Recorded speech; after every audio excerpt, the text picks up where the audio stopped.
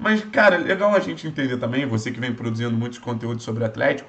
No geral, o que, que você tá achando, cara? É, porque você tem um Atlético, eu acho que se moldando ao longo da temporada de, de, em vários aspectos. Eu acho que o protagonismo dessa adaptabilidade são os laterais, né? Em, em um começo de brasileiro, laterais mais agudos, em, em, em um entendimento que não estava dando mais certo aquele modelo, laterais mais construtores, eu acho que isso potencializa muito Marcinho, por exemplo. Acho que o Abner é, é ponto fora da curva, porque se dá bem em qualquer situação, mas é, é um Atlético que vem mudando, é um Antônio que às vezes é até um pouco inquieto demais na busca por soluções. Parece ser um cara com muita teoria e, e a prática só vem com os jogos. Mas queria entender a sua visão de um Atlético que, se não encanta, faz um jogo bem, bem interessante da gente assistir, né? Eu gosto muito do Antônio, viu? Acho que.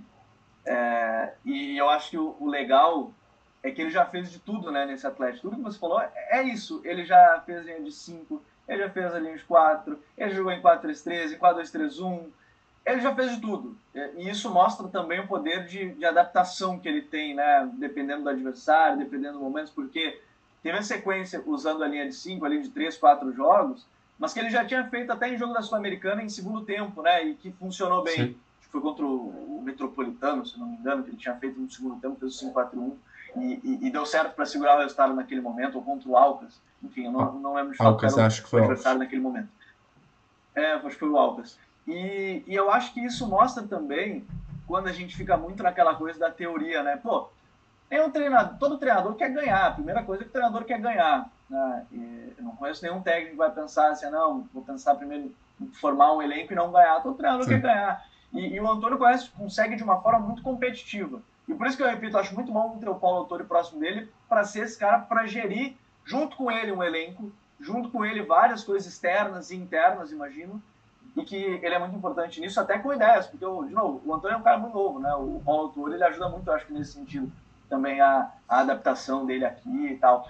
E eu acho que esse Atlético, ele, eu não sei se a palavra é surpresa, porque eu acho que é um clube que já se estruturou há algum tempo e está cada vez num nível maior, ganhou a Sul-Americana, ganhou a Copa do Brasil, é, em que pese em alguns momentos ter um primeiro turno de Campeonato Brasileiro sempre abaixo, e o segundo turno tinha que é, remontar quase, né, fazer segundo turno nos últimos, acho que três anos, o segundo turno sempre Sim. foi muito top né, do Atlético, e aí chegando a Libertadores. E, e, eu acho que mostra como o Antônio se adapta muito bem às situações, como ele soube aproveitar bem, porque, por exemplo, quando saiu o Abner, é óbvio que o Nicolas ele não tem o nível do Abner, mas ele soube aproveitar o melhor do Nicolas. Né? Sim. E não é que o Nicolas seja ruim, o Nicolas é bom lateral, só que o Abner é muito acima da média. Muito. O Abner é um lateral que não sei como é que não saiu ainda do Brasil, porque ele é muito bom. Né? E ele conseguiu aproveitar o Abner ofensivamente. Ele conseguia aí, quando tem o Nicolas, ele aproveita o Nicolas um pouco mais atrás para dar mais talvez mais um cara no meio, para botar mais força ofensiva que talvez o Nicolas não te entregue, apesar de entregar um jogo ali, uma saída de bola qualificada também. Então ele soube se adaptar a tudo que ele teve, né? Aquele momento que ele estava sem o lateral direito, que ele usava é, o Eric fazendo a lateral, mas quando estava com a bola jogava por dentro. Então, Sim. assim, eu acho que mostra o quão competitivo é o Antônio, e isso vem muito, acho que, da escola portuguesa mesmo, essa busca pela competitividade, sem focar exatamente num modelo de jogo é, num esquema tático, na verdade, né? o modelo está ali em todos os esquemas, o modelo do Atlético está ali, o jogo CAP está ali, Sim. tudo tudo está muito moldado também pelo clube, né? E que os treinadores eles se encaixam muito bem. Então, eu não sei se é surpresa, mas eu acho que mostra o quão competitivo pode ser um treinador, é, independente do sistema tático que for usar, e mostra que um clube organizado também consegue fazer isso muito bem né? Porque você saber que é um treinador que vai jogar dessa forma, porque se eu não me engano, acho que uma das um dos grandes diferenciais do Antônio, no, acho que no, no, Irã e no Kuwait, é que o time dele tomava poucos gols. Sim. Né? Todos os times deles lá tomavam pouquíssimos gols.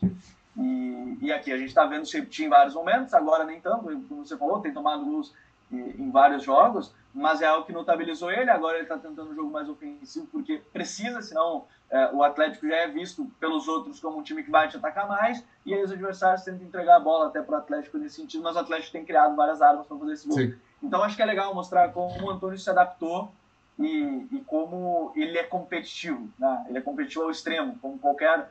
É, qualquer treinador quer ser, às vezes não consegue. Acho que o Antônio conseguiu muito bem unir as duas coisas. E se o Atlético primeiramente fazer segundo turno bom, agora tá fazendo o primeiro também. Por isso que eu tenho muita curiosidade de como é que vai ser ao longo da temporada, né? Se vai focar nas Copas em algum momento ou não, porque para mim o Antônio já é um dos destaques também como treinador desse campeonato.